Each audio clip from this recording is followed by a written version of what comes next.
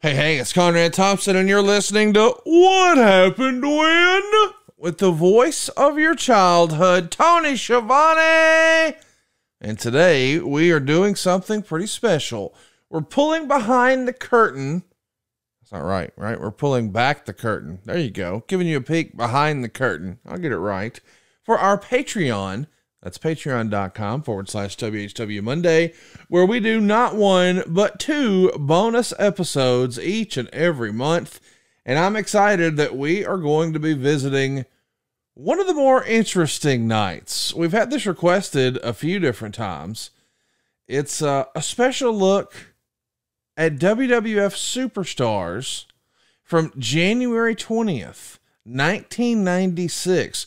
This was actually recommended to us by Patrick McGaugh of Shreveport, Louisiana. I guess his claim to fame is he is uh, married to a member of Tony's family now, his adopted daughter, if you will, Brooke. And uh, man, they picked this for us. We had a lot of fun watching it. And this really gives you a taste of, you know, what the Monday Night Wars were like before it really heated up. I mean, sure, Nitro existed, but at the time, it was like the little engine that could. Yes, it's live. Yes, it's up against a taped draw most of the time. But still, Scott Hall and Kevin Nash, they're still with the WWF. The NWO isn't even really an idea yet. So it's pretty cool to take a look at what wrestling used to look like before, and I mean right before the Monday Night War started to get hot. It actually happened the Superstars tape that I'm talking about on January 20th, 1996 at the Stabler Arena. That's right, Stabler Arena, Roll Tide, in Bethlehem, Pennsylvania. Man, such an interesting time in the company. I mean, we're still a sight away from there being uh, an attitude era. Here's what I mean. We got Skip and Zip taking on Chaz Warrington and Glen Ruth. They're not even the headbangers yet. Yokozuna is in there with Phil Apollo who you may or may not have seen before work enhancement matches or even as a fake doink. We've got Diesel in the main event taking on Isaac Yankem DDS. But how about this for a fun little nugget?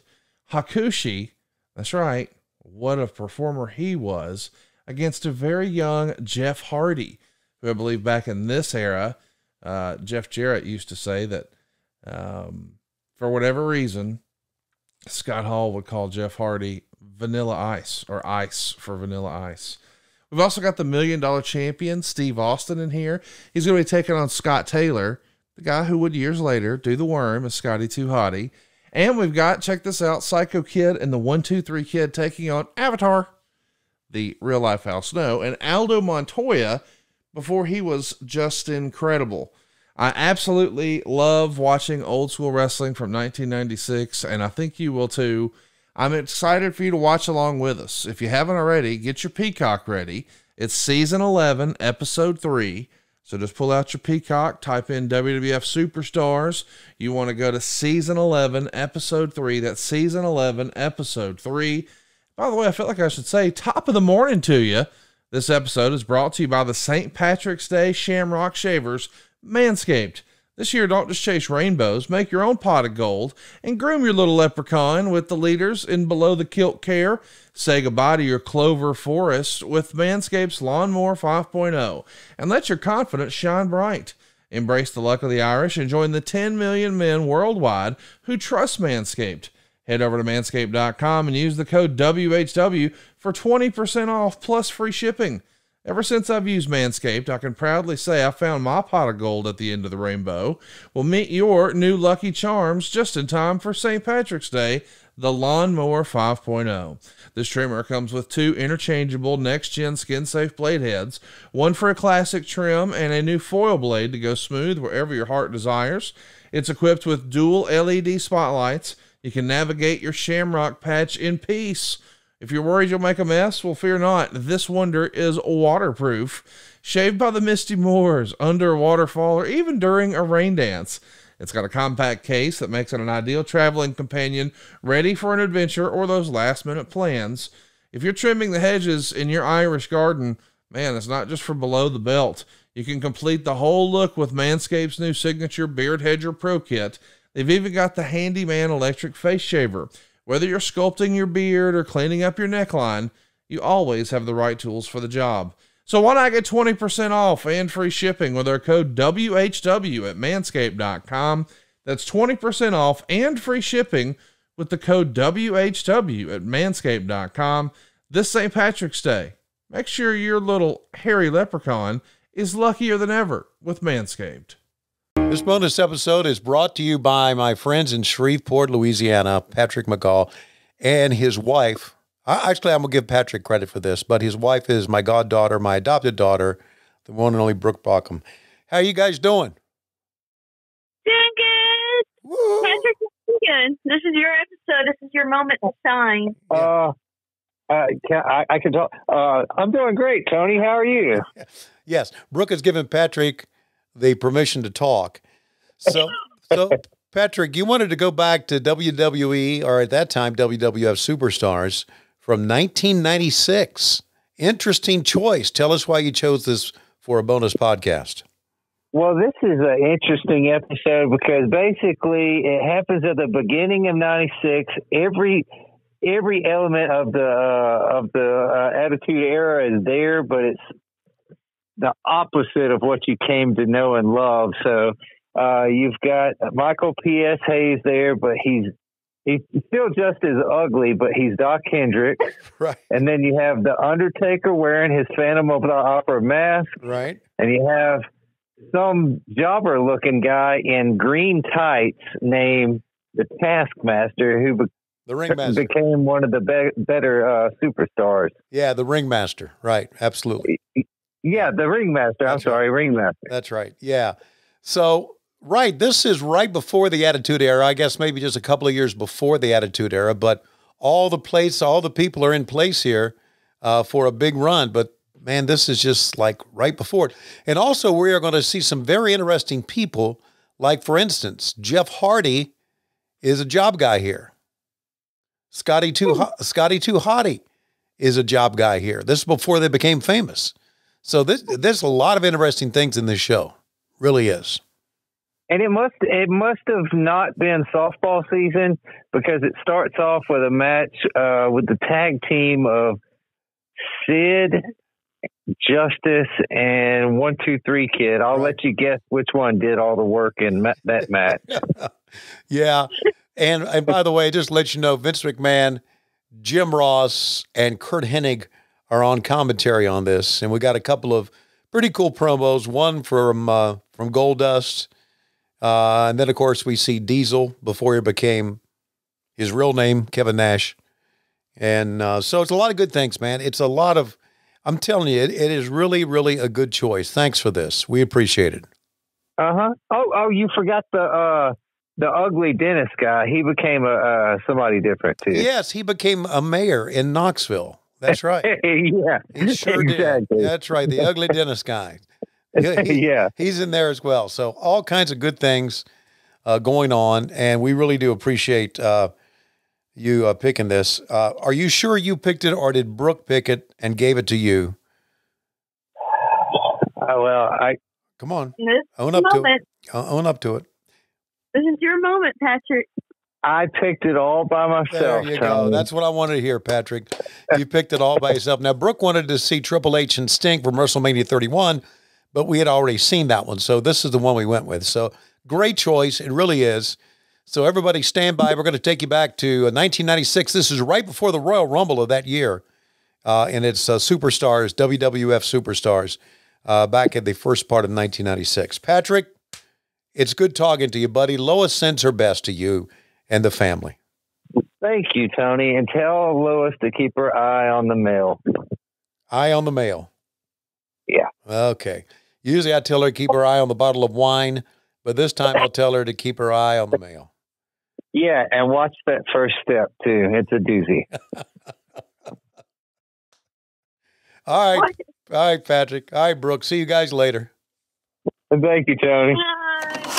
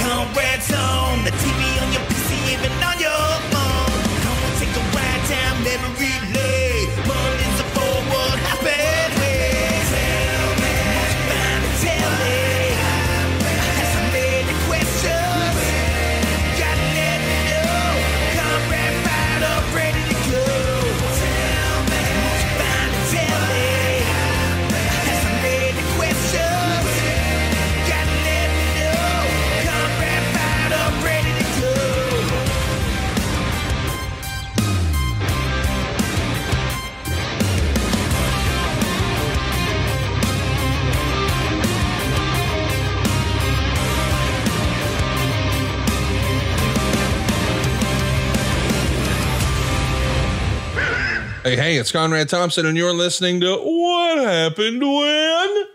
With the second of our two bonus episodes here on the WHW Monday Patreon.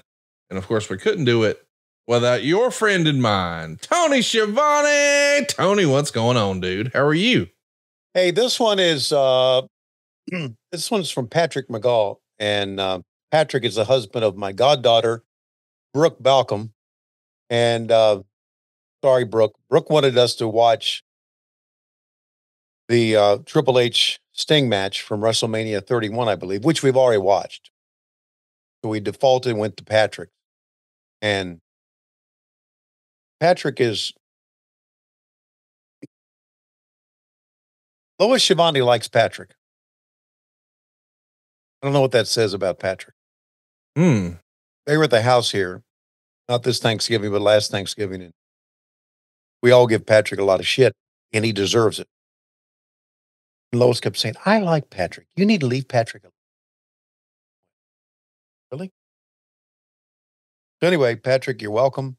And we're going to watch Superstars from 1996. How about that? It's a big time in uh in, in all of pro wrestling because Nitro has been on the air since September and Eric Bischoff's been battling. He's been taking inside shots. In this era, January of 96, he does an about face. He stops talking about it. Meanwhile, the WWF is continuing to do their billionaire Ted skits. But this is before Razor Ramon and Scott Hall have jumped. They're still here as I said Razor Ramon and Scott Hall, but you know what I mean. They're still Yes. here as Razor and Diesel. Right. Scott Hall and Kevin Nash have yet to show up on WCW. So we've got Steve Austin here, not yet quite stone cold. It's an interesting time in the company. And at this point, Shawn Michaels has yet to win the world title. So uh, Bret Hart's still here. This will be fun. I wasn't watching wrestling in January of 96. I got back in in August of, or I guess it was maybe it was July. It was either late July or early August 1996. I'm flipping through the channels and I see Hulk Hogan standing in the ring with Vinny Vegas and the Diamond Stud. I say that because I sort of missed all of Diesel and Razor Ramon. I wasn't watching those few years. Yeah. So I just was blown away by wait a minute, why is why is Hulk Hogan wearing all black, Tony? Yeah. That'll So- get you back, right? I was back in and, and I Yeah. started to say, all right, well, if this is the WCW show, there used to be a show called Monday Night Raw. What's going on there? And before I knew it, I was all in. So I got to see uh, War Games was my first, that Fall Brawl was my first WCW pay per view back in. But SummerSlam in August of 96 was my first uh, show back there. And of course, that was all about Shawn Michaels and Vader. And Vader really makes a big splash here in January of 96. So I'm excited for us to watch this an episode of Superstars that you nor I have ever watched. So we want you to watch along with us. Fire up your Peacock, type in Superstars. It's season 11, episode three. It went down January 20th, 1996. That's when it aired. Of course, these were not live, these were pre taped shows, but season 11, episode three, January 20th, 1996. I'm looking forward to this, Tony. You ready? I'm ready to go. Here we go. Give go. me a countdown. Three, two, one, play. The World Wrestling Federation. For over 50 years, the revolutionary force in sports entertainment. Who's that guy who does that VO? Do you know? No, it's just uh, one of- one of those voice guys you can hire. Superstar in the world today! It's time to retire those retirement rumors. That's called resiliency! That's called heart! When I climb in the ring this Sunday night, hooah! I'm coming out Royal Rumble champion. Are y'all getting all this? Just like last year.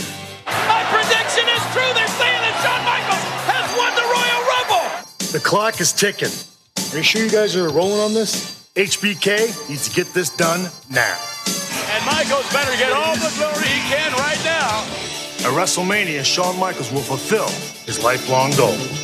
You guys are shooting my uh, good side, right? And that's becoming the World Wrestling Federation champion. Michaels coming Boy, this is fucking cheesy as shit. All right. My God. Yeah. He did show off his Rolex Submariner. You know, I'm a watch nerd, so I had to make sure I caught that. And here's the open to superstars showing some of their top stars Bret, Diesel, Razor, Shawn, Ahmed, Hunter. said a dangerous man, bulldog Englishman. Check out the Lion King.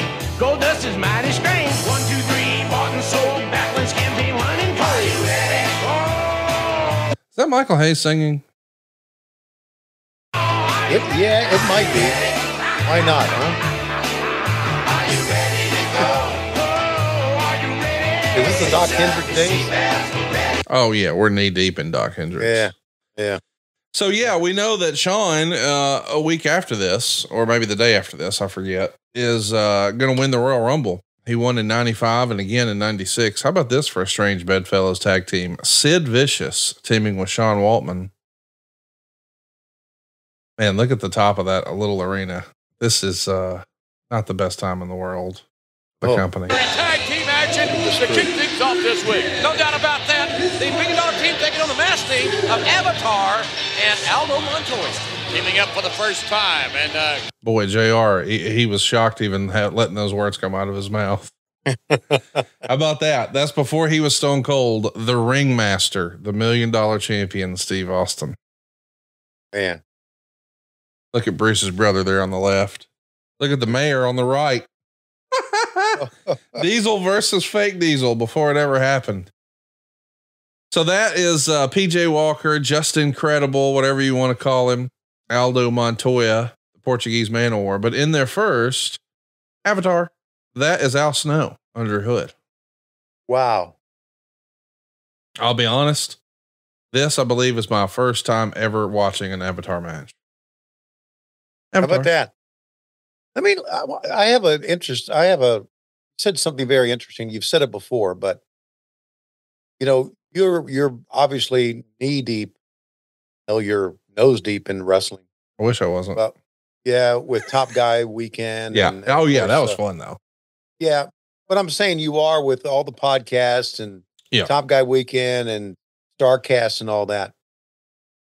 What pulled you away from wrestling? And once you were pulled away from wrestling, what what kept your interest back then? Was it football? Yeah, uh, I was always um in this era.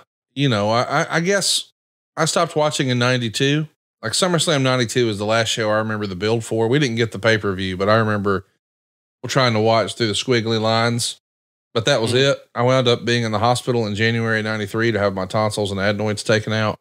Mm-hmm. And uh, I watched the first Monday Night Raw, or the one with Hulk Hogan where he came back. I watched that in the hospital. Uh, when Okay. they wanted to keep me overnight back then for some reason, and uh, that was it. I didn't watch wrestling again until I was flipping through the channels. I just sort of grew out of it. I think a lot of my friends quit watching it, and we became more sports obsessed. You know, in middle Mhm. school, if you will. Right. And um, yeah, I think all the focus in that era for me was on basketball and football. You know, the Cowboys and the 49ers were having such a great run and everything that was going on with the Bills. And meanwhile, in the NBA, you still had um, Michael Jordan tearing it up. Magic Johnson was around. Uh, you know, he was sort of hokey pokey with his HIV circumstance, but there was a, a bit of a transition in basketball because the collectors started to really pay attention to basketball cards with Shaquille O'Neal coming into the league. Right. And I just became a Shaquille O'Neal super fan. So I filled, I was always a big football junkie, but I started watching a, a- bunch of basketball in 92, 91 specifically, but by 92, uh, I was knee deep.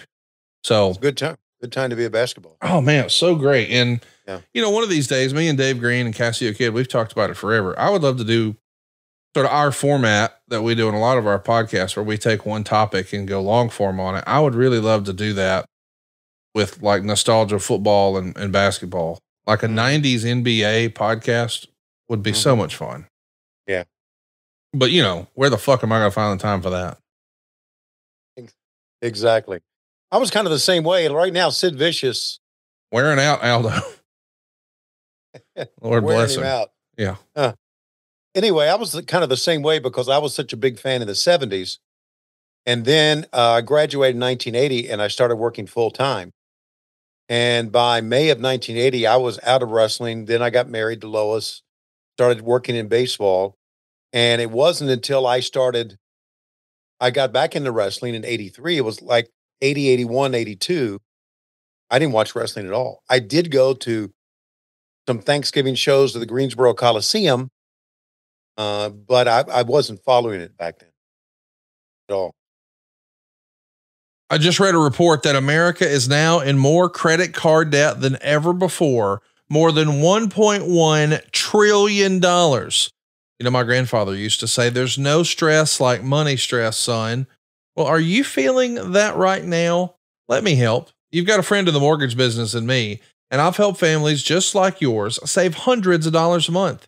Seriously, we've helped listeners to this podcast save up to 800 bucks a month. At savewithconrad.com, we routinely help our podcast listeners consolidate all of their high interest rate credit cards into just one much lower monthly payment. Would you like to lower your monthly payments? Wouldn't it be nice to skip your next two house payments? Are you finally ready for some breathing room and peace of mind?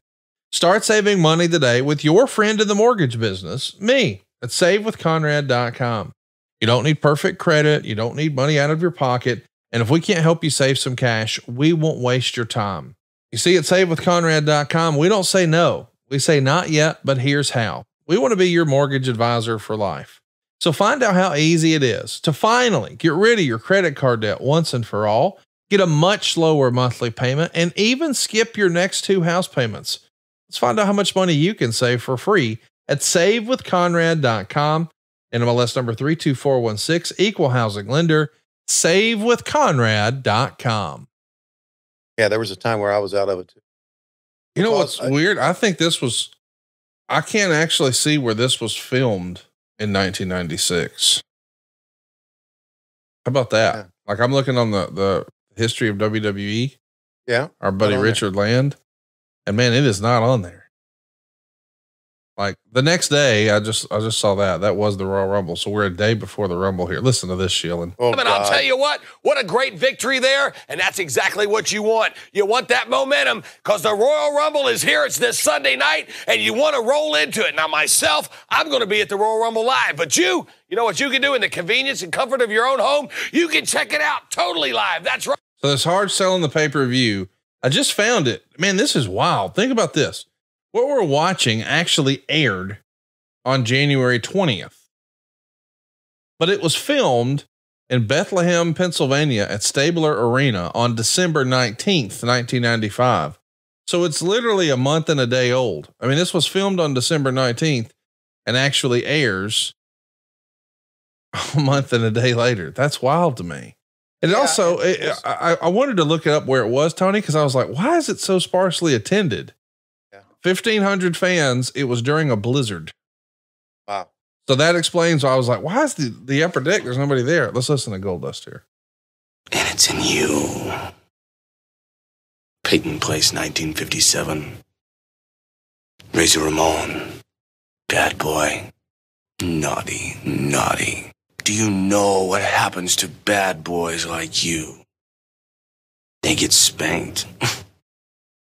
well, just the thought of that makes my luscious, golden body tremble with excitement. You and me, one on one. I will show you the way, and you will remember the name.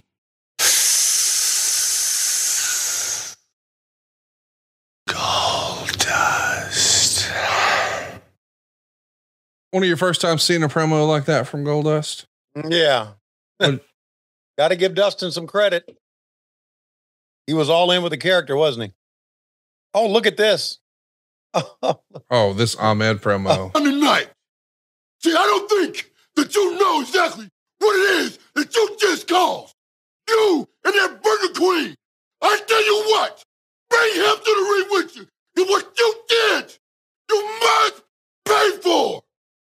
Double J, you better pay up. When we come back, we'll talk to Well, what did you think of that Ahmed screaming promo? I thought he tried to be a road warrior. He did. That was classic. That was classic Joe Laurinaitis stuff. you know what's funny? They paired him with the Road Warriors a year later at WrestleMania. Oh, listen, they look at this Vader deal. In Boulder, Colorado. Ha! He! Ha! I bring you. Ha! Ha! Ha! Ha! Yeah! The Prince of Power. He! But Big Daddy Cool is tired of all the talk about Vader, and for that matter, Shawn Michaels. Diesel feels he's being overlooked. Royal Rumble right around the corner. You know, a lot of people are saying a lot of things. Shawn Michaels back. Hey, best of luck, buddy. But a lot of people are saying that it's Vader time. Vader's in the Rumble. Vader's going to win the Rumble. You know what? You can set your clocks to it, people, because at the Rumble, it's Diesel time. Yeah, well, it's going to be time for the Royal Rumble, all right, and it's time for Ted DiBiase. Austin out to Million oh. Dollar Man's theme. shot this oh. week. A doubleheader. Now leading the million dollar champion into the squared circle. Take a look at the very impressive. By the way, that buzz cut right there, you can't tell me that's not inspired by Bruce Willis in Pulp Fiction. Looks just like him. Absolutely. Oh, look at this graveyard scene. Doesn't this feel like this is, I mean, on some level, we're watching a time capsule right now. Yeah. I mean, this is wild. Yeah.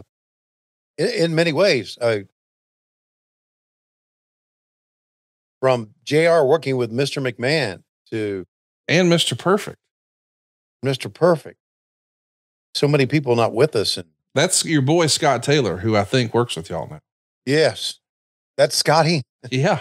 Before he was Scotty Too Hottie, there he is as an enhancement talent for Yeah. the green trunk and star boot wearing buzz cut ringmaster, Steve Austin.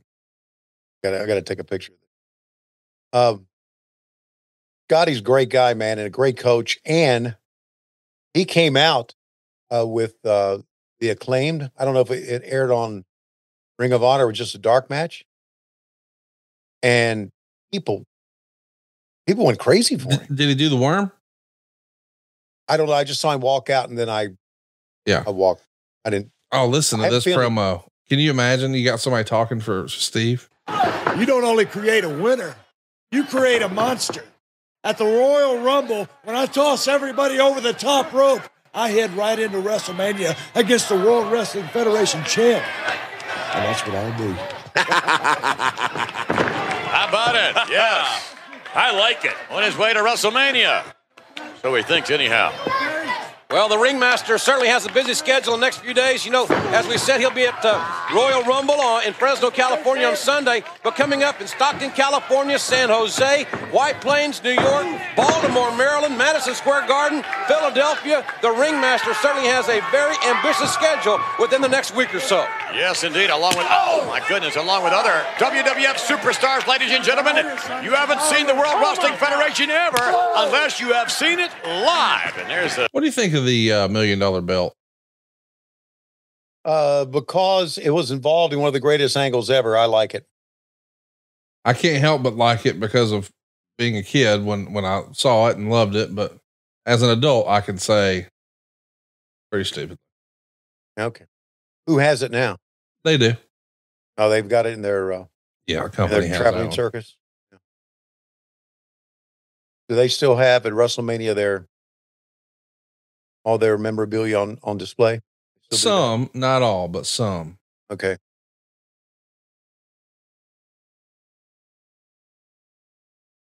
I'm really surprised that they haven't built a Hall of Fame. I think they will now. You know, there's been Yes. rumors for years and years that it was going to happen in uh, Orlando, Right. but I I could see right now there being a combined physical location for a Hall of Fame that has, you know, UFC and WWE. WWE. Look at those empty chairs. Man, I mean, listen, here's the thing too, because I was really down on like, man, how did they have this few people here? But during a blizzard, that makes sense, I suppose. Right. Of course it. And of course, Bethlehem, I think I mentioned this before. Bethlehem was old school where they used to. Absolutely. Uh, uh, old stomping grounds. Hey, I'm right. colorblind. Are his trunks green or brown? Green. Well, it's green light on. There's a green light on it right now. Yeah. Yeah.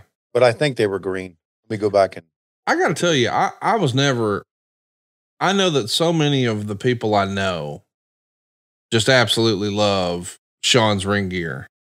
Yeah. I think it's fucking stupid. You mean with the hearts? Yeah. I just never liked it. I I don't have a decision or an opinion one way or the other. Uh, it, uh his trunks were green.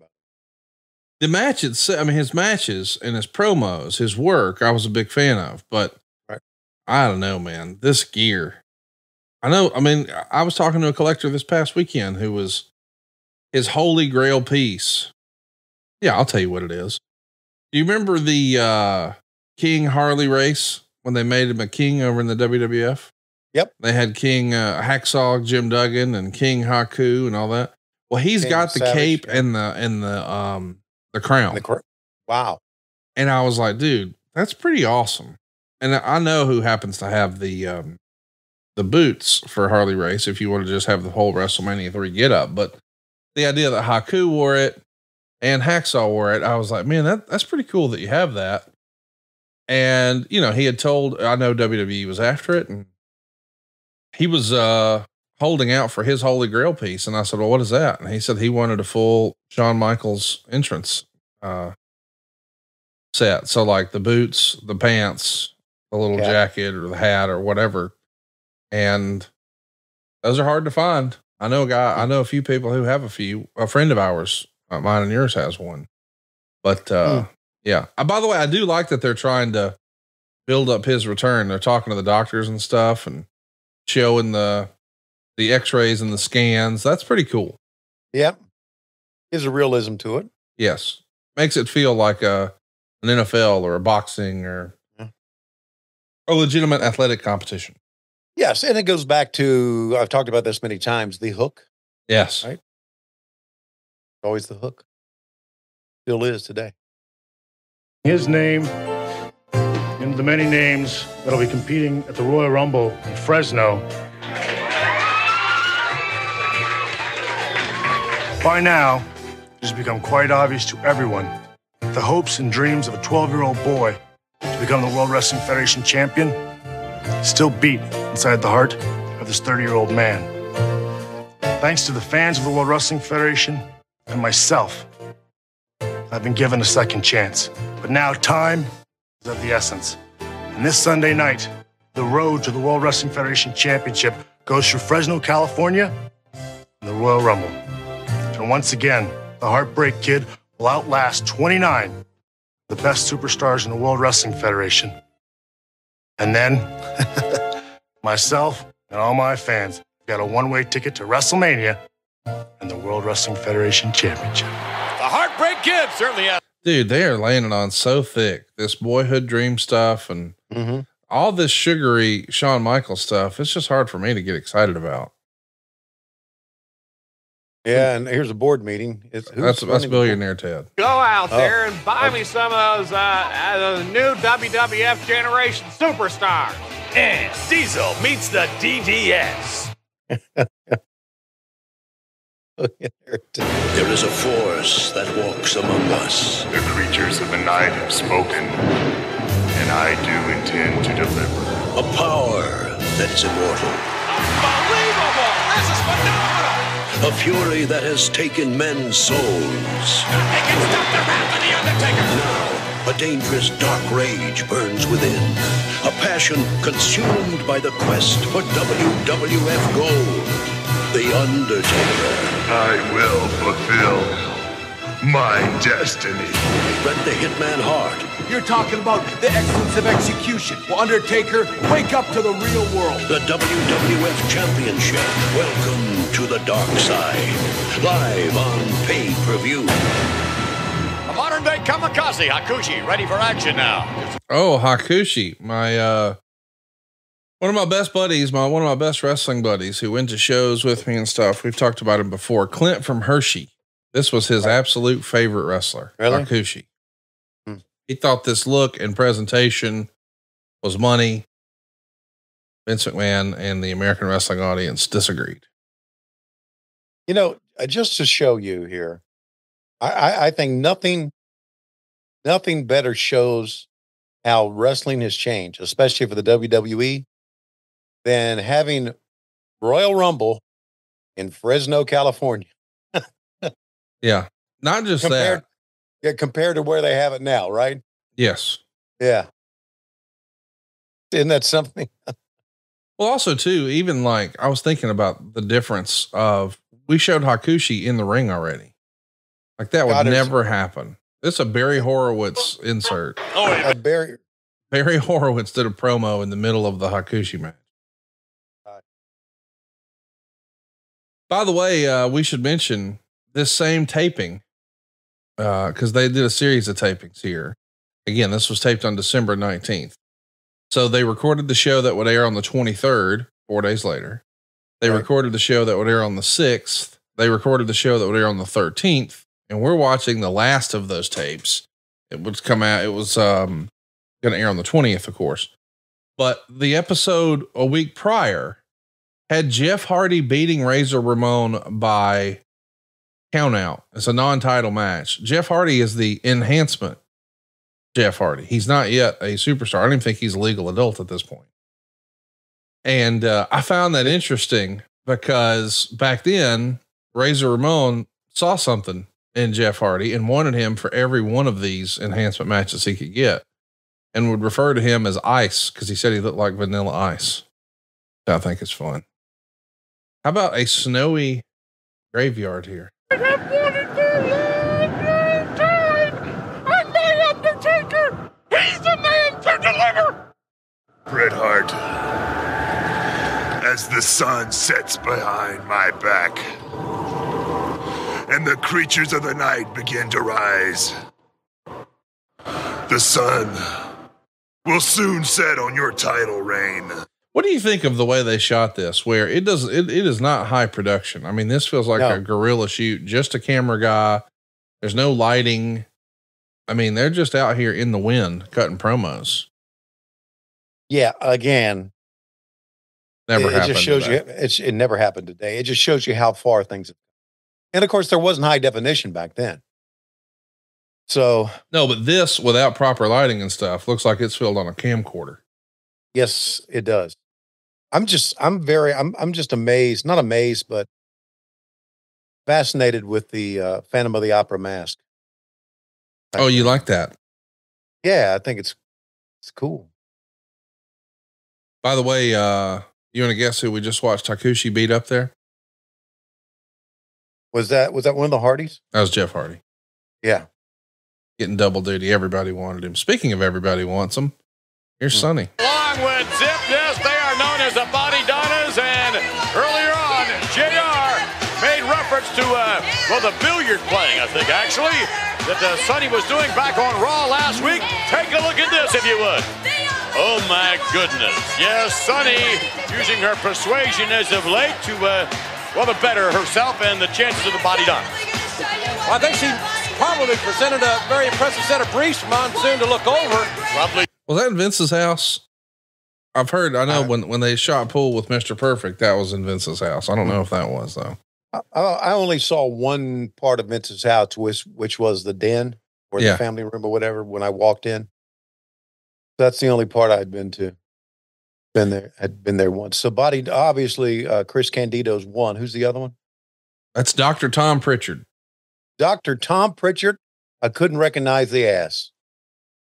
There you go. Now there's Dr. Tom. By the way, their tag team opponent here, which I would not have guessed. Uh huh. This is the Headbangers before they were the Headbangers. Holy smokes! Yeah, That's Isn't this something? This this is one of the great reasons to watch this show. Chaz Warrington and Glen Ruth.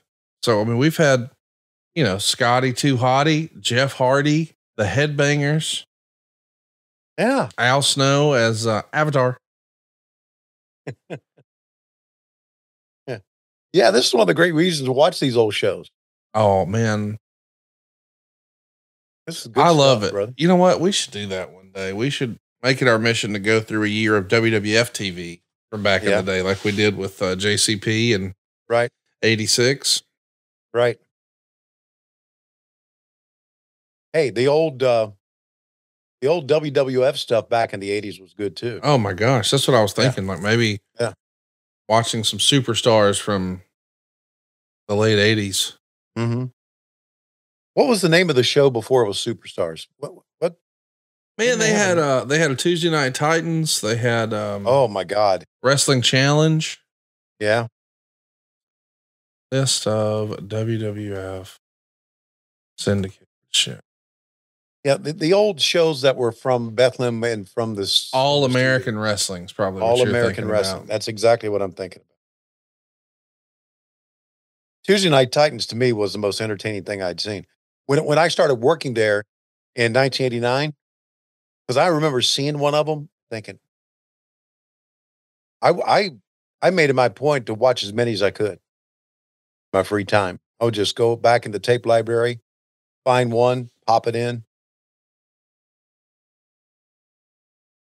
If you had access to their full library, everything Mm-hmm. they have, Yeah, what would you want to see most of all? I would want to see Tuesday Night Titans. You know that's on the network. Really? Yeah. Okay. We I say for a bonus episode next month, we should watch one together. Yeah, I think we should. We'd have to Oh yeah, I guess there's gonna be a lot of talking. Yeah, well, that's fine. We can, Yeah. you know. But there's some of the skits like uh like the Iron Sheik calling his camel Claude. But Vince had told him that the camel's name is Clyde, you know, like Yes. Yes. and he said, So Sheiky, what's your camel's name? He went, Claude. So great. It's so Huh. And the best ones, it's not a knock on Gene Okerlund, but the best ones was when Vince was the host. Look at that. And look at that. Man, isn't it crazy to think? You know, that's a young Mike Chioda right there too. Still rocking a little bit of a mullet there. He still got a little bit going. He liked to party. You know, uh, in today's uh, action, they probably would have had Sunny dress a little bit more provocatively than she does right now. Yeah. Meanwhile, here's Goldust smuggling plums. All right, guys, let's run a timeout right now. And I want to give you the heads up that, you know, football season might be over, but the action on the floor is just now heating up. We got tournament season and the fight for playoff home court. Man, there's just no shortage of high stakes basketball moments this time of year. And we want you to get in on the excitement with our friends at Prize Picks, America's number one fantasy sports app where you can turn your hoops knowledge into serious cash. And right now, you can win up to 100 extra money on prizepicks.com with as little as four correct picks. You can turn $10 into $1,000 with NBA, NHL, and college basketball entries all today on Prize Picks, America's number one fantasy sports app. Do you want to play alongside some of Prize Picks' favorite players? How about Meek Mill and Sugar Sean O'Malley? All you got to do is check on the, the community plays under the promos tab, and you'll see some of the biggest names in the game playing alongside you. The conference tournaments are here. Prize Picks has got you hooked up. And by the way, this isn't just for men's basketball. They can hook you up for your women's college basketball as well. And by the way, let me break down. If you haven't already followed me, here's what I'm talking about. All you're doing is picking a couple of different players and stat projections. For example, you could say, I think Kevin Durant is going to get more than 28 points, and I think LeBron James will have more than seven assists. It's that easy. Boom, you're in, you're done. And you don't just have that for the guys, you got that for the ladies, you got it for the pros, you got it for college dude, let's have some fun. And did I mention injury insurance? Prize Picks has it to where your injury your entries stay live even if one of your players gets injured. Let me give you an example. Let's say they're playing a basketball game and there's a player who goes out in the first half with an injury. Well, don't worry, it's not going to count against you. The rest of your entries stay live. I don't know of anybody else who does that. That's why I am making sure that I'm picking stuff like Anthony Davis for more than two blocks and Steph Curry for more than 29 points and LeBron James for more than seven assists. You get the idea. It's that simple. You pick the player, you pick the stat projection, and you watch it roll in. We want you to download the app today. Use our code WHW. You'll get a first deposit match of up to $100. I'm talking about prize picks. Pick more, pick less. It's that easy. They're the number one daily daily fantasy sports app, and you're going to see why when you download the Prize Picks app today and use our code WHW. You'll get a first deposit match of up to $100. Download the Prize Picks app. Use our code WHW. You'll be glad you did. Prize Picks. Pick more. Pick less. It's that easy. What's Goldust? Let's take a look. Hearts. Get some, you better get some help. Rangers! Come on. Oh, Robert Goldust! Come on, Mason. Hey, come on. Oh, no. Rangers lost it. Come on, Mason. Come on, Mason. Oh, no. Razor Ramon! It's gone completely berserk! How about Dustin selling, waving his hands as he's getting thrown? It was amazing. I don't think anybody could have pulled off Goldust as good as Dustin Rhodes. I, I agree. I My agree. God, what a great performance. I know that at the time it was a controversial character, but goodness gracious, when you talk about just going all in on a character, he did it. You can't you can't argue his commitment to the shit. Tony Chimel trying to get involved in that. I th- that looks like backstage at MSG. And I say that because the blue, maybe not. I don't know where they had Raw last Monday. Well, you know what? I'll probably- look it up for you, Ralph. That, that they probably didn't have it at. No, they wouldn't have. They wouldn't have gone outside like that at MSG. I don't think it would the- be that easy to get outside of him. No, it wouldn't. I mean, the the arena floor is like on the third floor. I think. Well, well, I don't know.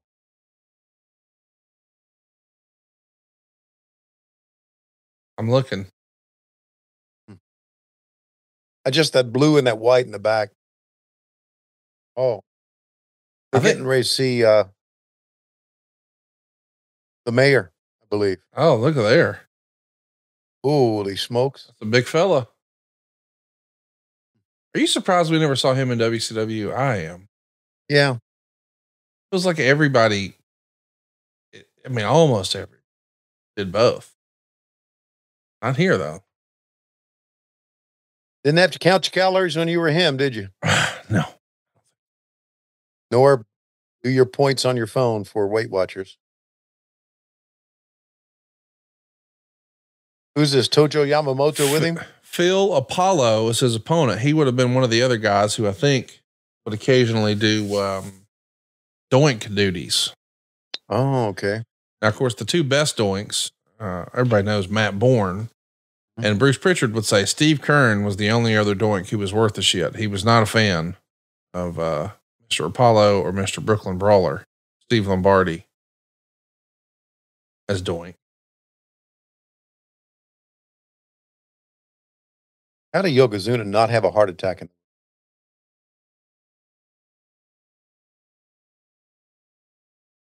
Man, mean, you want to talk about another guy gone way too long or way too soon. And you think about how many folks are in that Samoan dynasty. I mean, I know it's like a, it's a gimmick now in WWE, but all that talent and that one family tree that had so much success in the same industry. Pretty crazy. Oh, speaking of crazy, how about Jim Cornette in the WWF? Oh, and the King of Hearts, Owen Harder in the Royal Rumble, and one of them, I promise you, is going to win it. Jim, what if it just comes down to me and Yokozuna? Whose side are you going to be on? well, of course I would. You better be on my side because I am going to win the Royal Rumble. What a Less is more. You know, sometimes with those little cutaway interviews, I like that. Just in and out. I do too. I do too. I don't think I don't I don't think we do enough of them in uh, AEW. I've said that. We don't have to have, to your point, a three or five minute thing. You know, No. you can hit three sentences and that tells us what we need to hear. Right. Especially when you got guys who can't do a two or three minute interview. Yeah. Who haven't. This got to be scary if you're on the if you're waiting for this to happen. Yeah. I don't know. I mean, cause here's the thing. He had, he clearly had two versions that he would give. One where he was taking care of you and one where maybe not so much. Right. Do you miss the hotline? I mean, isn't that just a, it's fun to think about. It's times from a bygone era. Like there's signs in the crowd here, but not as many as there would be later. But nobody's playing on their phone because at best people have bag phones. Right. You know, they got a phone in their car. Right. Right. But, you know, it's just crazy to think. Like, I, I can't imagine a wrestling hotline working in 2024. Like, that'd be the str- strangest thing ever. I'd like to go. Can we? Can we? uh Track a little listen to bit. This? Yeah, track this. Song. Nobody does pay per view like us. 7 Eastern, 4 Pacific. The Royal Rumble, almost three hours of unpredictable, exciting action. The Royal Rumble match itself. 60 minutes of the most unique, exciting action the World Wrestling Federation can present. Let's talk about some of the participants. Big Daddy Cool Diesel, the 123 Kid, Tatanka, Dory Funk Jr., I mentioned Yokozuna, Doug Gilbert, Jake the Snake Robert, Jerry Lawler, and this guy, who we have not seen in action on TV recently, the undefeated Hunter Hearst Helmsley. Why have I refused to wrestle on television? Simple. And 29 other World Wrestling Federation superstars will find out at the Royal Rumble when I enter in my top physical form. To win the Royal Rumble and go on to WrestleMania, where I become the next World Wrestling Federation champion. Can you imagine if you had a time machine and you could go back and you could just tell that guy who just cut that promo, hey man, you ain't going to believe this shit. You're running things, dude. I mean, the idea that he's the big boss and one day there will be a day where you're the chief creative officer and Vince McMahon won't even be welcome. What? Here's the night and the who- you know the bell tolls and uh, the edge of darkness and Dead Man's Curve, and it doesn't make any difference to me because it doesn't matter. I'm not afraid. I gotta know. I want to know who is better. I'm not afraid to find out the truth. But the fact is, Undertaker, you've never ever been tested like I'm gonna test you. You're talking about the excellence of execution. You're talking about technical wrestling. You're talking about endurance. You may be the dead man, but when you step in the ring with me, I'm gonna bring you to life. We're gonna find out who is the best. Wow, what a title match. Every title's on the line this Sunday night at the Royal.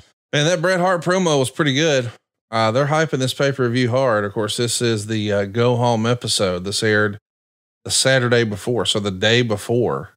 Mm-hmm. And there is Isaac Yankem DDS. This is his first crack in the big time. He was uh, discovered, I guess you might call it, by, uh, or recommended rather, by Jim Cornette. And of course, Jerry Lawler was a big fan. Right. So he gets the opportunity here and he's going to be taking on Diesel. Little did he know, hey man, this time next year, you're going to be cosplaying as this character. But at that point, he probably would have taken anything. Who wants to be a wrestling dentist? Unless you're Britt Baker. That's different. Here's Diesel, just as cool as Kevin Nash can be. I don't like those uh, old t shirts though, where it's got like the dude's face on it. Right. Diesel gloves are a cool thing to sell though. Yeah. I I, I think it's interesting that uh, Michael Hayes did their quote unquote control centers back then. Yeah. That's pretty cool. Gene Okerlund did ours. No knock on Michael Hayes, but Gene Okerlund is much better. But Michael was selling his ass off. I got to give him credit. How about uh, Jerry Lawler with a mullet? That hair just flowing out behind the crown. These are two big boys here, Diesel and Yeah. uh, Isaac Yankem. Yeah, the mayor looks good, man, doesn't he? Yeah, I mean he he's going to get even more massive Right. during the rest of his career. He's going to add a lot more uh, mass and muscle and weight. It's crazy to think, though. I mean, what a great story of perseverance both of these guys are. Sure. You know, to be clear, you got one guy who was a master blaster. That didn't work. Benny Vegas. Then he was Oz. Oz. That didn't work. Then he's Vinny Vegas, and that doesn't work. So then he comes over and he's like the silent bodyguard. He's just a heavy. He's a number two, not really doing anything. And then he becomes a tag partner and then an IC guy. And then all of a sudden you blink and ta da, he's the world champ. And this presentation of Diesel made him a star. And granted, it happened in a in a down period. So even though he may be the top guy, he's not making what he perceived to be top guy money. But boy, he Right. persevered and he and he wrestled as himself as Kevin Nash and ta-da in the NWO. My man became a multimillionaire. And it's a similar trajectory, really, when you think about it, for Glenn Jacobs. I mean, he toils around on the independents and and is trying to make a name for himself as Unabomb and is working Smoky Mountain and Memphis and wherever he can get opportunities and down in Puerto Rico and then winds up here with an opportunity to finally wrestle for a big company, but as an evil dentist. Well, here it goes. It goes back to this, Conrad. I know I'm right on this, and and I heard somebody tell say this years and years ago, and I believed it, and I believe it to this day. If you compare WCW to the WWF, they knew how to make stars. Yeah. They did. We did not. WCW back then. I mean, think about the, the guys that that we brought in were established stars, and I know Kevin Nash and and Scott Hall became even bigger, Yeah. but still they were established stars, and they they they were cool. They became not the Diamond Stud and not Vinny Vegas. They became Razor and Diesel, the cool guys, and they we brought them over here. We would have called them Razor and Diesel had we been able to, right? So we just used their real names, and thus they became big stars. But WWE was always the star maker. They knew how to make stars. They made Hulk Hogan. They made Mr. Perfect. I mean, just uh, just think of the name. Hell, they made CM Punk. Yeah. They made uh, Bryan Danielson. Now, I think we've done a great job with some guys. I think we've done a tremendous job with the acclaim. Oh, there's Make no doubt. And Darby Allin. And MJF. Darby Allin, MJF. We we've been able to make stars, but I'm comparing WWF Yes. to WCW, not AEW. Yeah. WCW had DDP, Mm-hmm. Goldberg. Right. That's okay. Anybody else? On a major scale, Rey Mysterio, maybe. yeah, right. Yeah, I agree. Dean Malenko. I mean, and listen, I, I don't know, and I mean this, I don't know if there wouldn't have been proof of concept that Chris Jericho and Chris Benoit and Eddie Guerrero would have gotten a WWF opportunity. Right. Because I don't remember them having job offers before WCW. Right. But once they proved what they can do with WCW, the WWF clearly saw something in them and pushed them to another level. But would they have even considered it without seeing what they could do on the other channel? And I think that's an important thing too. Like Cody Rhodes never intended to wrestle anywhere other than WWE. He didn't go work a shit ton of independence. He worked his dad's turnbuckle championship wrestling shows as a kid as a referee and then decided he wanted to get into acting and then wound up going through WWE developmental and had success, but clearly they just saw him at a certain level, they being Vince.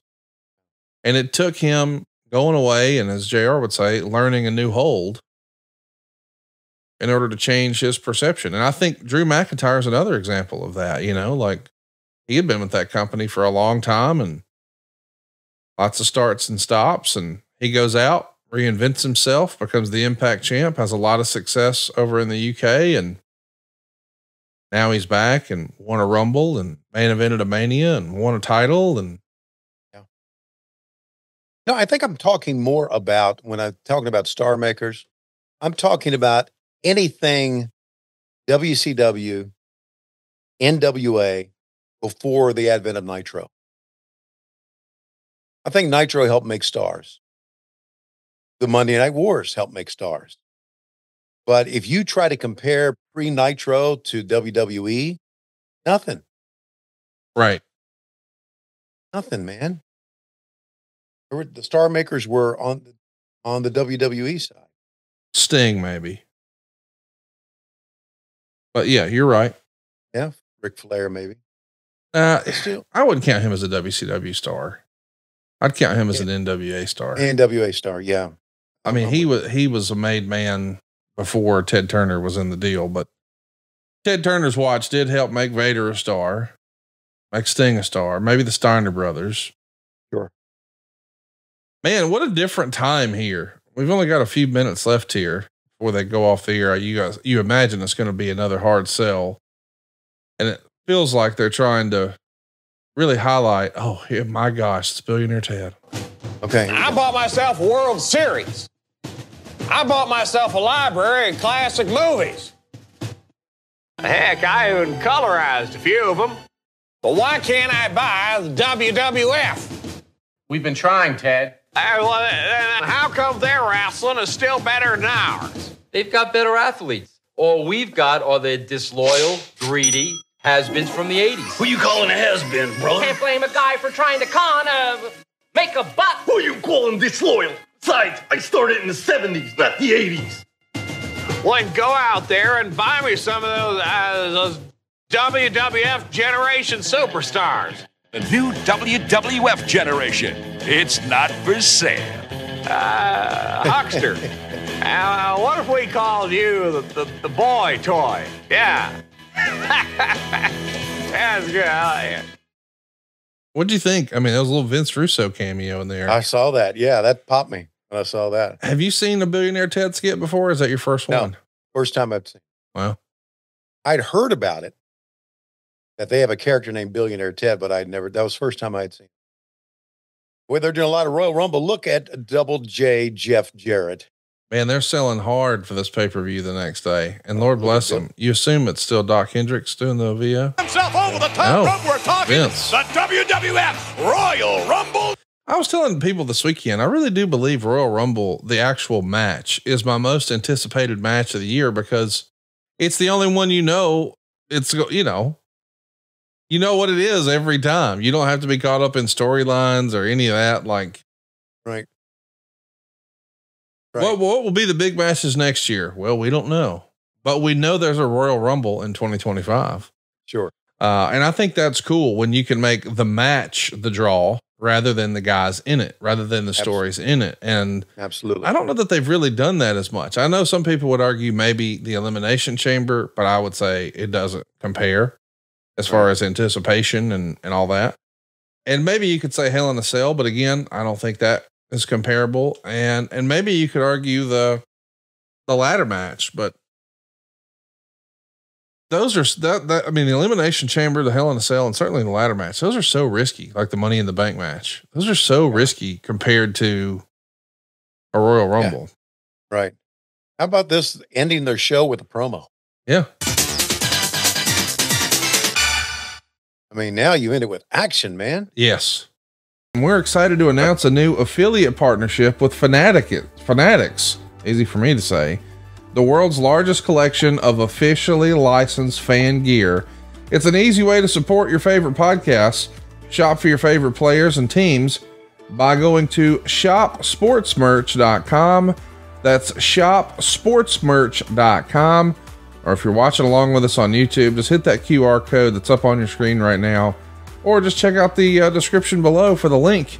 We'll also have it up on all of our socials. You can shop with confidence for your favorite jerseys, caps, shirts, jackets, hoodies, and more with Fanatics. But be sure to use our special link, shopsportsmerch.com, and that will support our show.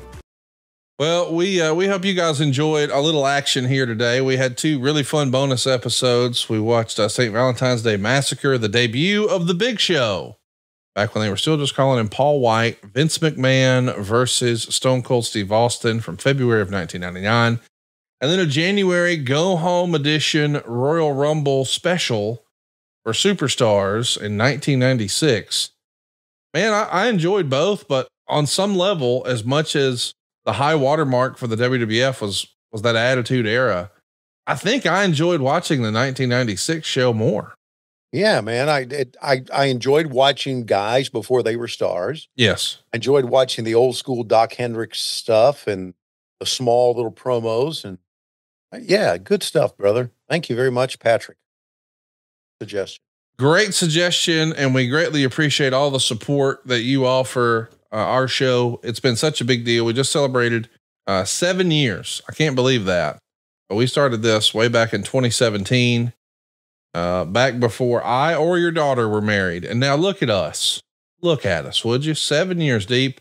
And I don't have that itch, Tony. I'm not itching to get rid of you. So I appreciate you making the time to uh, do a couple bonus episodes today. A lot of fun. These are a lot of fun. They really are. And thank everybody for being with us and for being with us on Patreon and Top Guy ad free shows as well. And uh, we'll see you sooner rather than later with a couple more bonus episodes right here on What Happened When.